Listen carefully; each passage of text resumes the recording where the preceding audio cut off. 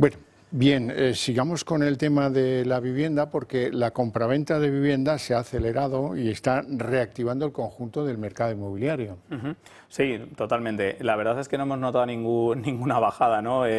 los datos en las últimas en, los últimos meses, trimestres, han sido siempre crecientes.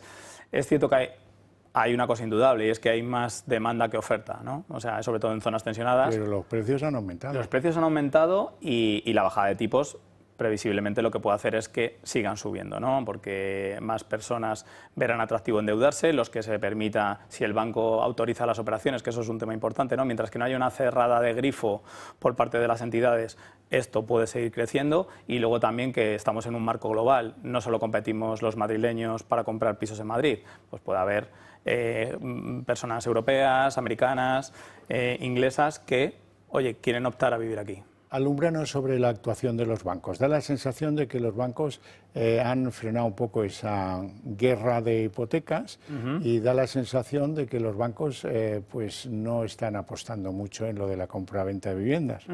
Es cierto que yo creo que se sienten cómodos en un marco de precios elevado, ¿no? No, no se está repercutiendo tal vez esas bajadas